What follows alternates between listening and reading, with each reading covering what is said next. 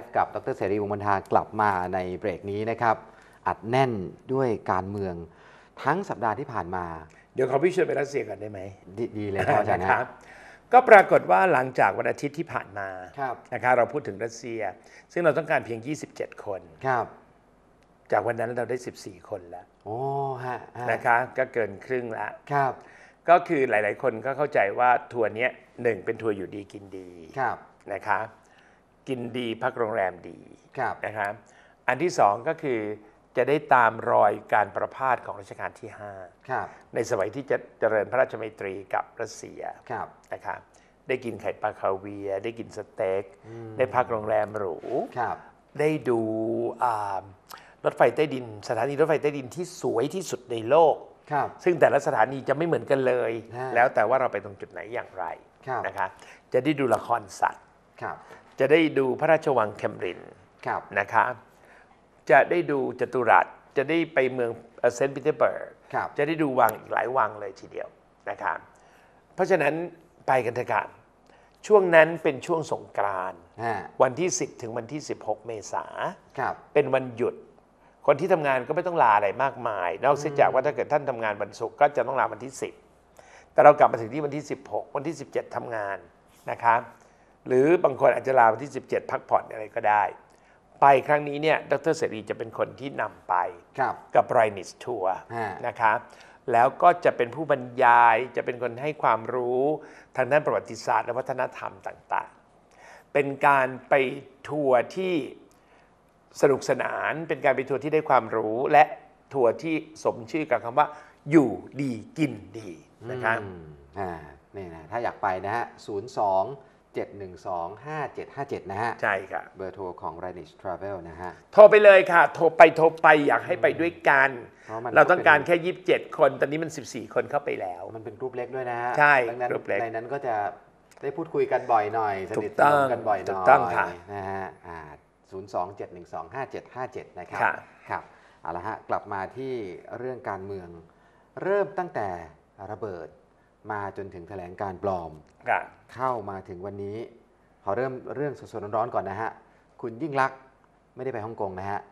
เห็นบอกว่ามีการเช่าเครื่องเหมาลำนี่ไงคือพี่คิดว่าตรงนี้มั้งที่ทำให้เขาไม่ได้ไปทำไมฮะ คือทำไมต้องเหมาลครับำเขาไปกันเยอะแค่ไหน ครับ เออการเหมาลำทำให้ไม่มีรายชื่อของบุคคลที่จะไป อืม เพราะฮ่องกงมันไม่ต้องใช้วีซ่าไม่ต้องใช้อะไรถูกไหมฮะอ่าอยากไปก็ไป ในขณะเดียวกันคือถ้าเราจะรู้ว่าใครไปบ้างเนี่ยเราเช็คที่สายการบินได้ ถ้าเราซื้อสายซื้อซื้อตั๋วสายการบิน ครับ แต่เหมาลำเนี่ยที่นั่งมีตั้งหลายร้อย ถ้าเกิดไปสัก 50 คนหรือ 60 คนก็เช็คไม่ได้แล้วเอาอะไรไปบ้างอ่าเอาอะไรไปม่ทบนบ้างก็เช็คไม่ได้ครับ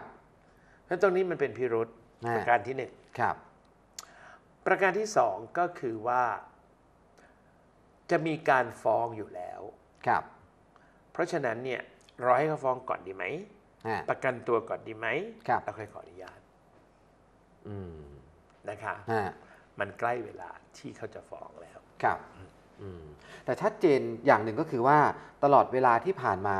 เรายังไม่เคยได้ข่าวคุณยิ่งลักษณ์ไปพบกับคุณทักษิณแต่ว่าฮ่องกงคราวนี้ชัดเจนว่าข่าวเนี่ยคุณทักษิณจะอยู่ที่ฮ่องกงเพื่อที่คุณยิ่งลักษณ์บินไปหา แล้วก็จะมีการพูดคุยกัน เป็นประเด็นนี้ด้วยไหมอาจารย์ตูนมันมีส่วนนี้ด้วยครับนะครับมันมีเรื่องพี่ว่ามันเริ่มมีเรื่องเกิดขึ้นแล้วล่ะครับพี่เองเวลาออกไปข้างนอกพี่ก็ต้องขออนุญาตครับนะครับซึ่งมันจะมีจดหมายจากศาลครับแล้วก็มีการปลดล็อกอาที่ตมครับนะครับก็ไป พี่ขออนุญาตไปสามครั้งละครับนะคะไปสัมมนาที่ฮ่องกงฮะนะไปทัวร์ที่ญี่ปุ่นนะครับ แล้วก็ไปทัวร์ที่ฝรั่งเศสครับสองครั้งแรกพี่ไปฉลุยกลับฉลุย ฮะครั้งที่สามพี่ไปฉลุย ครับแต่กลับมาเนี่ยเขาขอถ่ายเอกสารไอ้เขาถ่ายวีซ่าพี่ทุกหน้า ซึ่งเป็นครั้งแรกที่เกิดขึ้นคราวที่แล้วเนี่ยนะไม่กี่วันเนี่ยนะใช่ ครับพี่ก็เลยถามไปที่คนบางคนว่าทำไม ครับเขาตอบว่าเพราะมีคนบางคนที่ขอไปที่หนึ่ง ครับ แต่ตรงกลางอะไปอีกที่หนึ่งอืม เหมือนตุนขออนุญาตไปฮ่องกงอะตุนก็ไปฮ่องกงครับ กลับฮ่องกงใช่ฮะแต่ช่วงที่ตุนอยู่ฮ่องกงเจ็ดวันตุนไม่ได้อยู่ฮ่องกงอื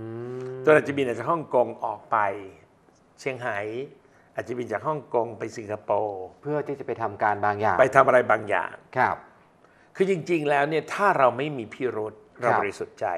เราจะไปที่ไหนบ้างเนี่ย เราควรจะให้ itinerary กับเขาได้อย่างชัดเจน ใช่ฮะอย่างพี่พี่ไปเนี่ยถ้าเกิดถามว่าวันที่เท่าไหร่อยู่ที่ไหนวันที่เท่าไหร่อยู่ที่ไหนพี่บอกได้หมด ก็กางตารางทัวร์ให้ดูอ่าไปกับทัวร์ว่าเราไปตรงไหนบ้างครับหรือถ้าเกิดเราไปเองเนี่ยเราก็สมมติพี่ไปสัมมนาเนี่ยพี่ครับก็สามารถเอาไอ้รายการสัมมนาให้ดูว่าพี่ครับสัมมนาที่ไหนตอนไหนอย่างไรฮะนะฮะเพราะฉะนั้นมันจะไม่มีการออกนอกประเทศที่ขออนุญาตไปอีกประเทศหนึ่งครับเพราะพอพี่โดนถ่ายปั๊บพี่ก็สงสัยพี่ก็ถามว่าเอ๊ะพี่ไปสองครั้งแรกไม่ได้ถ่ายครับแต่ครั้งที่สามทำไมถึงขอถ่ายทุกหน้าอืม เขาบอกเพราะมีคนที่ขอไปประเทศกอไก่ครับพาสปอร์ตเอ้พาสปอร์ตก็จะปั๊มว่าออกจากประเทศไทยไปกอไก่ครับ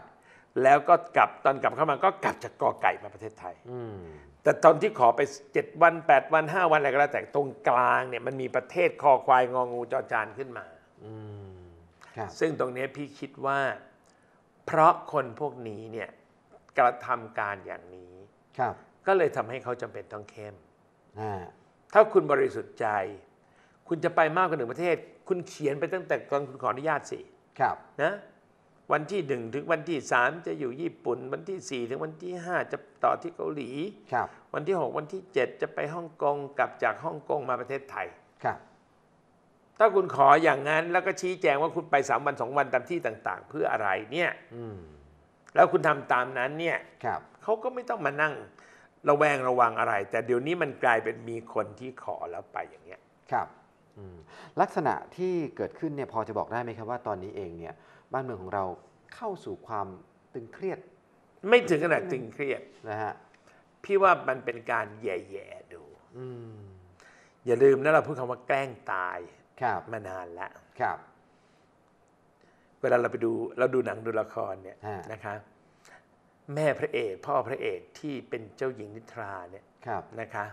แล้วก็มีพระเอกนางเอกไปนอนเฝ้าอยู่ข้างเตียงเนี่ยครับ ตอนที่เขาจะบอกว่าฟื้นแล้วเขาจะ close up ไปที่นิ้วฮะแล้วนิ้วมันจะขยับเริ่มกระดิกขึ้นอ่ามาตอนนี้พี่ว่ามันเป็นอาการประมาณนั้นน่ะอืมคือนิ้วกระดิกครับนะคะอืมแต่ยังไม่ลุกจากเตียงครับนะคะอ่าอาการนิ้วกระดิกนี่มีหลายอาการนะครับ ใช่ตั้งแต่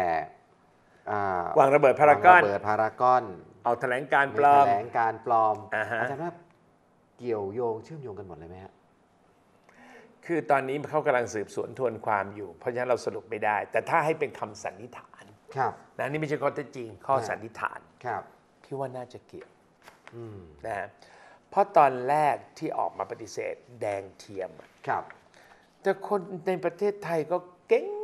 เก่งพี่ขอยกย่องนะคะ ครับ เขาบอกเทียมวันเดียวเอารูปมาเป็นสิบรูปเลยอะอ่า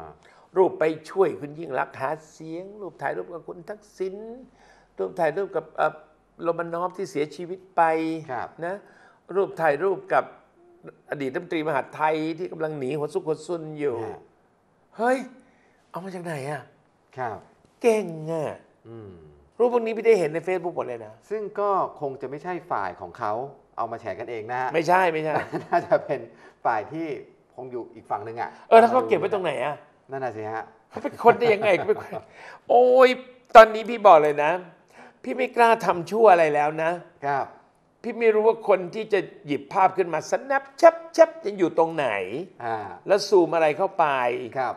แล้วก็จะเก็บสะสมไว้ยังไงในอัลบั้มเขาครับแล้วถึงวันที่เกิดปัญหาอะไรของพี่ เขายิงขึ้นมานี่พี่จะทำยังไง โอ้ตายแล้วทำดีเถอะ ครับ เราพูดถึงนายกฤษบุตรดีจีนนะครับผู้ต้องหาคดีเผยแพร่แถลงการณ์ครับพระราชวังปลอมเนี่ยนะครับ ในขณะเดียวกันเองทางนปชเนี่ยก็ออกมาเรียกร้องว่าเนี่ยทางตำรวจทางทหารเนี่ยสองมาตรฐาน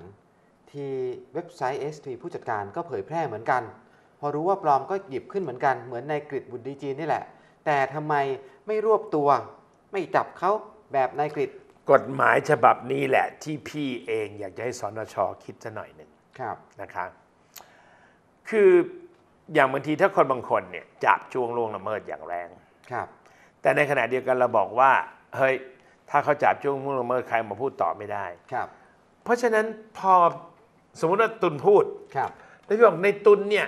ผิดมาตรา112อ่านะพูดจาให้ร้ายราชวงศ์ครับ ซึ่งให้ร้ายอย่างแรงมาก ฮะแต่กฎหมายเขาห้ามพี่พูดใช่ไหม ใช่ครับพอศาลตัดสินให้ตุนติดคุกสิบปี อืมฮึอะไรแค่นี้สี่ปีเหรอเพราะเขาไม่รู้ไงว่าทำอะไร ครับ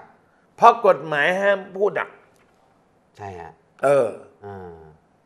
เพราะฉะนั้นจริง ๆ แล้วเนี่ยที่ ACV เขาเอามาลงเนี่ย ครับ ถ้าเกิดเขาผิดกฎหมายนะ ต่อไปนี้อีพวกที่มันทำอะไรพวกนี้นะ อืมแล้วถ้าเกิดว่าตำรวจไปจับมันนะครับ แล้วศาลตัดสินมันนะ ครับ ชาวบ้านที่ไม่รู้อะไรเลยว่าตกลงมันพูดอะไรเหรอฮะตกลงมันทำอะไรเหรอครับ มันต้องติดคุกสี่ปีเลยเหรอเรื่องแค่เนี้ยนะครับเราไปคิดว่าเรื่องแค่นี้นะเพราะเราไม่ได้เห็นฮะว่ามันทำอะไร ใช่ครับ อืมไม่พี่ถึงบอกว่ากฎหมายการที่คนมาบอกกับเราว่าใครทำชั่วอย่างไรครับแล้วคนคนนั้นต้องติดร่างแหไปด้วยเนี่ยฮะมันจะทำให้คนทำชั่วเนี่ย ลอยนวลได้ง่ายครับๆแล้วเวลาที่ลงถ้าไม่ลอยนวลลงโทษมันอืม ศาลก็จะโดนด่าง่ายๆเหมือนกันครับ ว่าทำไมตัดสินรุนแรงขนาดนี้อืมก็ไม่รู้นี่ก็ไม่เห็นนี่ครับ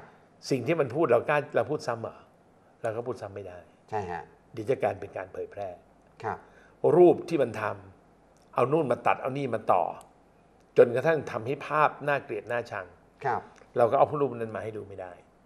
ครับ ซึ่งถ้าคนบางคนได้เห็นรูปอาจจะบอกตายสี่ปียังไม่พอเลยเนี่ยทำขนาดนี้ครับ แต่พอไม่เห็นรูปสี่ปีเลยเหรออืม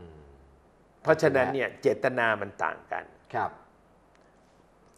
ตุนเผยแพร่ พี่เผยแพร่ แต่ตุนเผยแพร่ เพราะตุนต้องการให้ร้ายคน ครับ แต่พี่เผยแพร่เพื่ออยากจะให้รู้ว่า ตุนเนี่ยให้ร้ายคน ครับ ถามว่าสองคนนี้มีความผิดเท่ากันเหรอไม่ควรนะฮะ เออ มันไม่ใช่สองมาตรฐาน ตุนพี่พูดตั้งหลายครั้งแล้วครับ สองกรณีไม่ได้แปลว่าสองมาตรฐานอืมตุนเผยแพร่ เพราะตุนต้องการทำร้ายคนที่อยู่ในเนื้อเรื่องใช่ฮะแต่พี่เผยแพร่ เพราะต้องการอยากจะรู้ว่าคนอย่างตุนเนี่ยไปทำร้ายเขาครับ มันกรณีเดียวกันเหรอมันคนละกรณีชัดเจนครับ ตุนต้องการทำร้ายคนที่ตุนเขียนเรื่องราวไม่ดีกับเขาครับ แต่พี่เนี่ยเอาสิ่งที่ตุนเขียนเนี่ยมาทำให้คนรู้ว่าในายคนเนี้ยไม่ดี อืม เอาเรื่องอย่างเนี้ยครับมาทำอืมหรืออีกกรณีหนึ่ง ถ้าสมมุติว่ามันทำเพื่อให้คนเอาไปเผยแพร่ต่อฮะแล้วคนเผยแพร่ต่อก็ไม่รู้ว่ามันเอาของปลอมมา ครับ อาจจะมีความไม่สบายใจ หรืออาจจะมีการต้องการอยากจะเตือนคนให้รู้ครับ ก็ไปเผยแพร่ กฎหมายยังไงเขาก็ให้ดูที่เจตนานะตุนครับ เขาไม่ได้ดูที่การกระทำอย่างเดียวอืม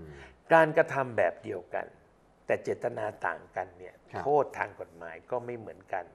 และไม่เรียกว่าสองมาตรฐานครับเรียกว่าสองกรณีอืม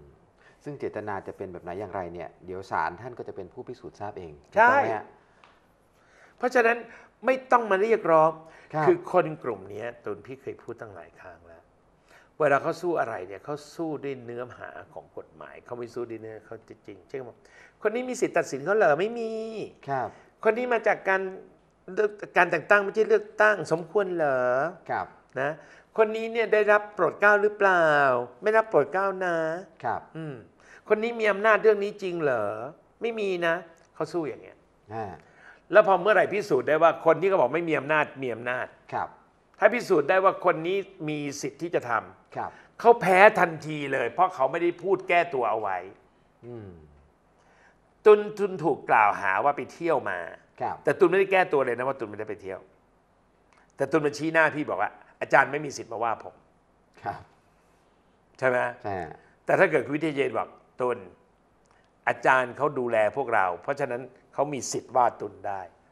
อืมตุนแพ้แล้ว ใช่ฮะเพราะตุนไม่ได้ชี้แจงไว้เลยว่าตุนไม่ได้ไปเที่ยว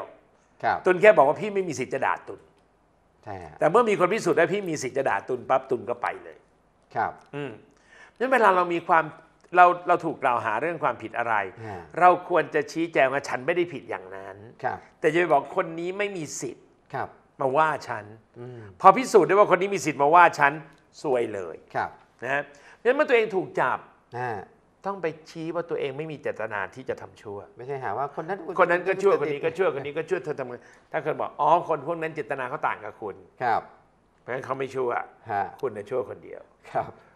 แล้วแต่คุณยังไม่ได้ชี้แจงเลยว่าคุณไม่ชั่ว คุณอ่าได้แต่ว่าคนอื่นชั่วเหมือนคุณครับแต่บัดนี้พิสูจน์แล้วว่าเขาไม่ได้ชั่วเหมือนคุณเพราะเจตนาเขาไม่เหมือนคุณครับ อย่าไปสู้ด้วยกฎหมายสิสู้ด้วยข้อเท็จจริงสิฮะแล้วกฎหมายเขาจะไปเขาจะเอาข้อเท็จจริงนั้นเนี่ยครับ ไปสวมใส่ในกฎหมายเองอืมว่าเมื่อสวมใส่เข้าไปแล้วผิดหรือถูกครับในรอบสัปดาห์นี้มีข่าวเล็กๆ ที่น่าสนใจข่าวหนึ่งนะครับ ในจำนวนผู้ที่ถูกเรียกเข้าไปปรับทัศนคติทั้งหมด ไม่ว่าจะเป็นคุณนัทวุฒิใสเกื้อ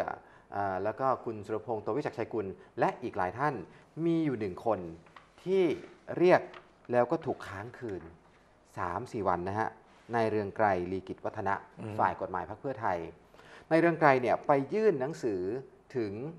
สถานทูตอเมริกาให้กับนายแพทริกเมอร์ฟี่อุปทูตสหรัฐ บอกว่ากรณีของคุณยิ่งลักษณ์ที่ถูกถอดถอนเนี่ยเป็นกรณีทางการเมืองนี่ไงนะฮะทฤษฎีไล่ล่าแม่มดอะครับ หลังจากที่นายเรืองไกรเอาไปยื่นตอนบ่ายนะฮะตอนเย็นเนี่ยก็มีเจ้าหน้าที่ฝ่ายความมั่นคงมารับตัวนายเรืองไกรออกไป แล้วก็ไปกักตัว 3 วัน จนวันที่ 6 กุมภาพันธ์เนี่ยถึงปล่อยออกมา และหลังจากปล่อยออกมา นายเรืองไกรปิดโทรศัพท์ จนป่านนี้ยังไม่มีนักข่าวคนไหนที่ติดต่อนายเรืองไกรได้ อาจารย์มองปรากฏการณ์นี้ยังไงก็มองว่าหนึ่งสิ่งที่เธออยากจะพูดครับ เธอต้องมั่นใจว่าพูดไปไม่ไม่ดีแน่ครับนะฮะฮะแต่สองให้เธอพูดที่ไม่ครับตรงกับใจครับเธอก็คงไม่อยากพูดครับ อืมก็เลยปิดโทรศัพท์ไปเลย ใช่ไหมฮะสมมติว่าไม่มีอะไรไปคุยกัน ครับ อย่างเงี้ยเธอให้สัมภาษณ์ได้แน่นอน ครับ ใช่ไหมใช่ฮะแต่เธอไม่อยากพูดอย่างนี้ไง ครับ เธออยากจะพูดอะไรที่มันไม่ใช่อย่างนี้อืมแล้วถ้าเกิดเธอไม่พูดอย่างที่ว่าไม่มีอะไรไปคุยกันเนี่ยครับ เธออาจจะโดนไปอยู่อีกเจ็ดวันจะได้จะเป็นสามวัน ครับยันทางที่ดีคือไม่พูดอ่าแต่ข้อหาที่นายเรืองไกลได้ทำในสายตาของสังคมเนี่ยนะฮะเอาเรื่องของประเทศเราชักน้ำเข้าไปให้กับเลิกชักศึกเข้าบ้าน มันดูรุนแรงเหมือนกันนะอาจารย์รุนแรงมากสมหลายคนบอกสมควรแล้วที่ที่ค้างคืนโอ้สามวันน้อยไปครับสามวันน้อยไปฮะเพราะว่าบ้านเมืองเราเราต้องจัดการด้วยตัวเราเองนะครับ คือเออคุณดอนก็พูด ท่านประยุทธ์ก็พูดนะครับ internal affair กิจการใช่ฮะภายในครับ เราดูแลกันเองได้ครับคุณไม่ต้องมายุ่งครับนะ เมื่อกี้แปลสอนก็มีครับมารยาทฮะนะคะ ต้องมีอืมอยากได้มารยาทกลับคืนมาครับ คือมารยาททางการทูตของสหรัฐ ที่ผ่านมาเนี่ยเหมือนคนไม่มีมารยาทครับ คุณจะมาจุ้นอะไรกับเราว่าเราจะเลือกตั้งเมื่อไหร่อืมอย่างที่พี่บอกชอบอาจารย์พิษณุพูดมากเลย ครับ ถ้าเลือกเร็วอะโง่ฮะแต่ถ้าเลือกตามเวลาของเราเนี่ยไม่โง่หรอกครับเพราะมันต้องมีเวลาใช่ไหมครับ ให้เขาหาเสียงให้มีการประกาศรับเลือกตั้ง ให้มีการ ตั้งพรรคการเมืองที่ถูกยุบไปในช่วงเวลานี้นะครับ ต้องมีการออกกฎหมายลูกโอ้ยทั้งสารพัดแล้วมันจะมายุ่งอะไรครับ แล้วจะเป็นมาร่วมกระบวนการในการครอบงำคนไทย ว่าประชาธิปไตยต้องมีการเลือกตั้งครับ แล้วก็จะบอกว่ารัฐบาลที่มาจากการเลือกตั้ง ถูกถอดถอนไม่ได้ถูกล้นอำนาจไม่ได้มันไม่ใช่มันอยู่ที่ประเด็นคุณทำดีหรือคุณทำชั่วครับ แล้วอำนาจที่จะโค่นล้มรัฐธรรมนูญเขียนไว้ชัดเจนฮะ แล้วเราได้ทำตามรัฐธรรมนูญแล้วใช่ไหมครับ ชุมนุมกันตั้งหกเดือนเนี่ยอืมแต่ละครั้งที่เรียกมีการเดินเนี่ยจำนวนเท่าไหร่ ครับ แล้วเวทีเนี่ย พี่ไม่เชื่อว่าเขาไม่ฟังหรอกนะฮะถึงเขาไม่ฟังเองก็ต้องมีริ้วล้อเขาฟังแล้วสรุปให้ ครับ ไม่เข้าใจบ้างเหรอมันไม่เข้าไปในสมองบ้างเลยเหรอครับว่าเขาเรียกร้องอะไร เพราะฉะนั้นตรงนี้นี่พี่บอกว่า การที่ เอาเรื่องราวของประเทศไทยเราที่ควรจะจัดการกันเองไปฟ้องฝรั่งเนี่ยมันชักน้ำเข้าลึกชักศึกเข้าบ้านครับอืมเราต้องดูแลตัวเราเองค่ะครับ สุดท้ายนี่นะฮะนักวิเคราะห์ทางการเมืองหลายคนบอกว่าก่อนหน้านี้ที่มีความสงบจากทั้งสองฝ่ายทั้งฝั่งคุณทักษิณทั้งฝั่งกปปส แล้วก็อยู่ภายใต้การควบคุมของคอสช เดินมาอย่างเรียบร้อยนะครับ ด้วยความเชื่อที่ว่า ทุกฝ่ายจะปรองดองจะไม่มีใครติดคุกติดตาราง จะไม่มีใครทำอะไร แต่ว่าตอนนี้เริ่มจะเห็นผลทางกฎหมายที่มันเกิดขึ้นจากอีกฝ่ายหนึ่ง ซึ่งก็เป็นผลจากการกระทำของตัวเอง อีกฝ่ายหนึ่ง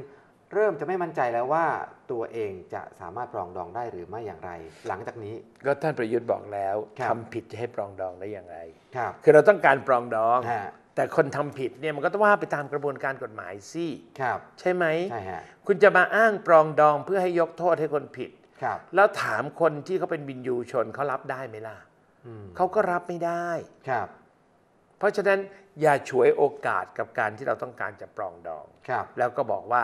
ถ้าต้องการจะปรองดองอืมอย่าให้พวกฉันมีความผิดครับไม่ใช่ไม่ใช่ครับ หลังจากนี้หลายคนก็เป็นห่วงว่า เดี๋ยวจะมีแถลงการโผล่มาอีกเดี๋ยวหลังจากนี้จะมีระเบิดโผล่มาอีกอาจารย์อะมองอย่างไรอายการอยู่ต่อไปอายการกฎอายการศึกอยู่ต่อไปครับอืม แล้วเขาจะได้รู้ว่าการที่มีกฎอายการศึกแล้วทำผิดเนี่ยครับมันจะเป็นอย่างไรครับส่วนสำหรับคนที่ไม่ได้ทำผิดคิดร้ายอะไรครับไม่ต้องห่วงครับกฎอายการศึกไม่ได้ทำร้ายชีวิตเราเลยแม้แต่น้อยครับค่ะวันนี้ขอบพระคุณอาจารย์ครับขอบพระคุณมากครับเราสองคนลาไปก่อนนะครับ สวัสดีครับ